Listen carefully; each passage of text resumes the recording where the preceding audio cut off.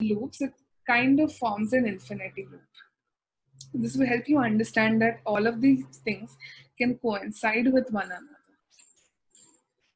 You can see that there are lines which are diverging and there are lines which are converging, which means that the part these parts of process expect you and your teams to diverge at times with information and to converge as in narrow down on that information this needs to be constant. You need to constantly diverge go out in the audience gather maximum information and converge narrow down get into this uh, get into the answers get into the right definition of what you found out. Let us now look at the double diamond of how it looks. Uh, as you can see we follow a we follow a loop between discover, define, develop, and deliver.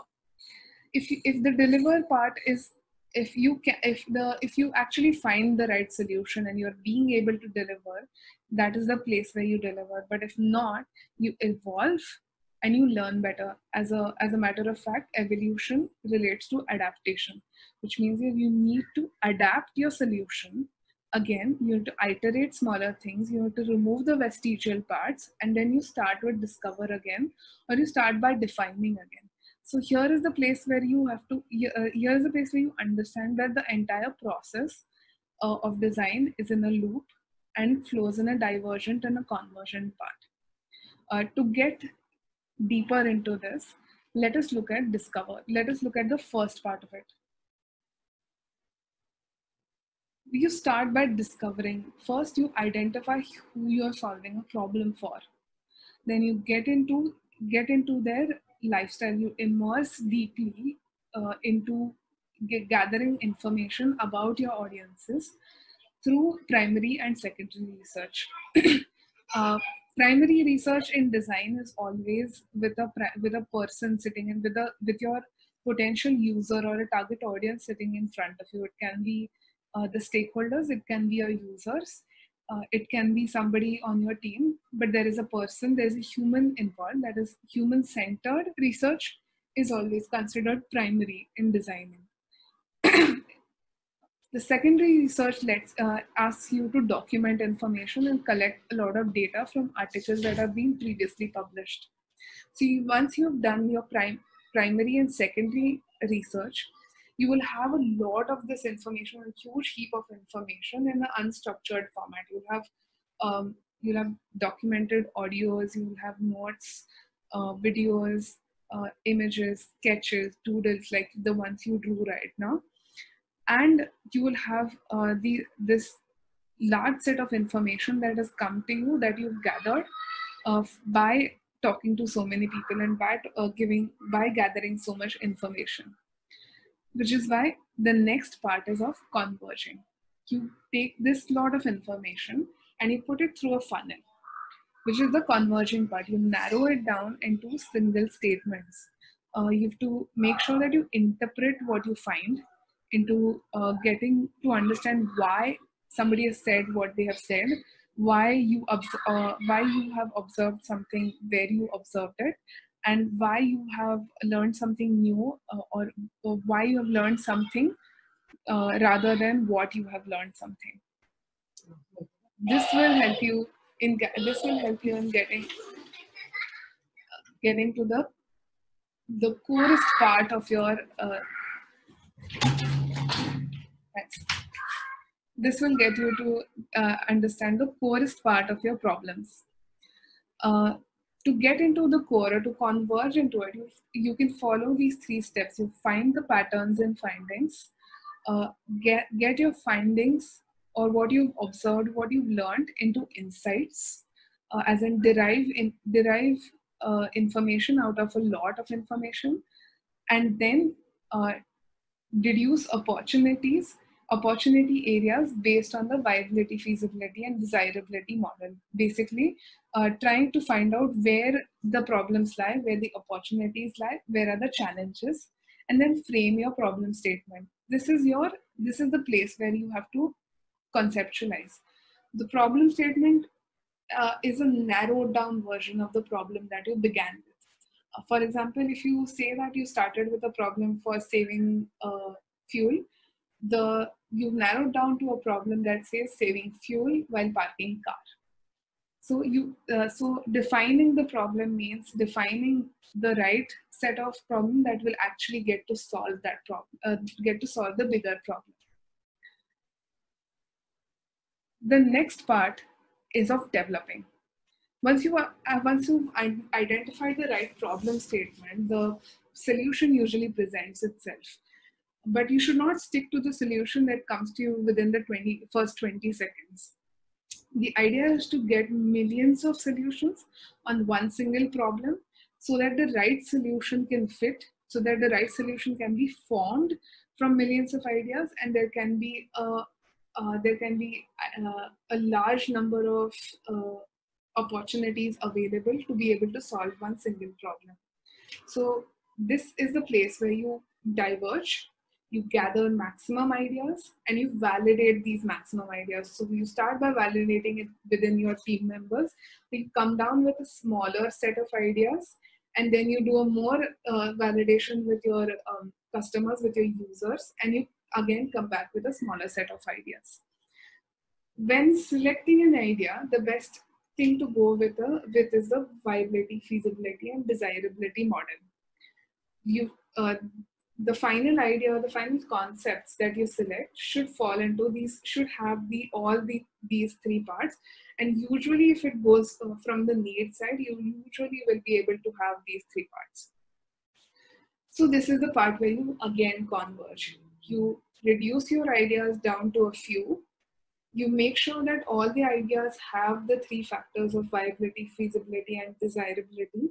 And you start uh, you start testing them uh, rapidly by prototyping. Now, rapid prototyping requires you to uh, form solutions with available materials like best of waste or um, start with uh, so you start with even a pen and paper like we did and get into a better and better quality prototype as you improve it the idea is to be to not be uh, attached to one single prototype and to be able to make multiple levels of prototype as you go on and make it as better as possible so that you will be able to deliver fast. If you go on with one single prototype get it into the market and deliver it right away without solving the uh, without solving the core issues that it already has it will no matter what it will fail and will cause you a lot of economical drama.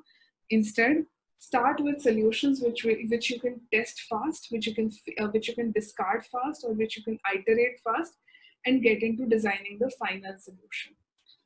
Ideally do your validation and iteration process twice minimum. Iterate your solution to a level where it kind of fits into the area where it needs to solve the problem and then start designing the roadmap to uh, to it solving the problem in the customer journey this is the place where you need to get the solution from your hands to the customer's hands. So uh, implementation uh, remains the most important part of designing anything. Uh, here is a place where you can decide whether your solution can actually go into the user's hands. If it does not, by any problem uh, with any problems of viability, feasibility, and desirability, you evolve and you turn it around and you go back to discovering, you go back to understanding uh, the core of these problems, you get into define, develop, and then you come back to deliver. To, uh, to sum it up, you start with problem, you diverge with problem and try to uh, learn most about your problem. You converge by getting down to one single part of that core problem, whatever it is causing then you again diverge and develop uh, diverge into ideas into multiple multiple millions of ideas. And then you get into converging deliver one single idea to your to the stakeholder that you're working with. Uh, to give you an example of uh, such a process uh, i'm sure all of you use or all of you must have used uber app at some point for uh, for uh, uh, for transit within the city.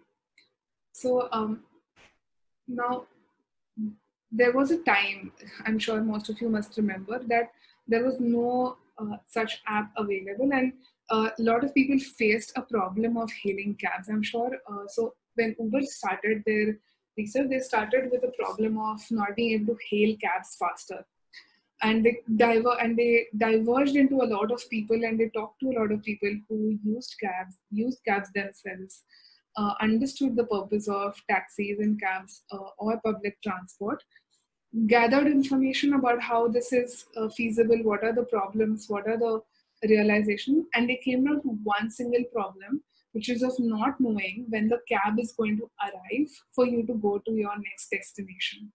Now, this is something that you can solve uh, very easily because you've already underlined that problem, that little definition of a problem that gets you from uh, not being able to hail a cab at all to being able to know when your cab is going to arrive. Once you know that this is the place where you, this is the problem that you want to solve, they got into multiple ideas of how to solve it. They got into making cards, making maps, giving them a calling service, giving them a, uh, an SMS service, and then they came came down to one single idea, which was of navigation. Today they what they have what they have incorporated is a navigation system that lets you already understand how, when your driver is going to arrive on the app so that you don't need to waste time or so that you, your anxiety is not built whether you will reach your destination or time or not.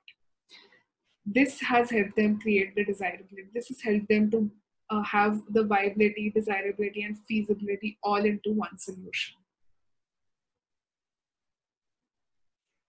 Uh, what we expect you to design, what we expect you to submit as your POC is these four steps of the double diamond process the discover, define, develop, and deliver.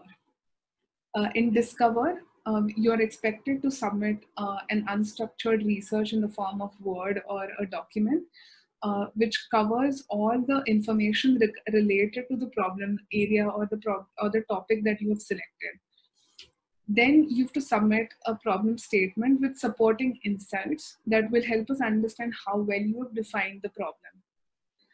Uh, in the develop area, you need to submit ideas and concepts which fit into the viability, feasibility, and desirability criteria, along with hypothetical questions that will support your selected ideas.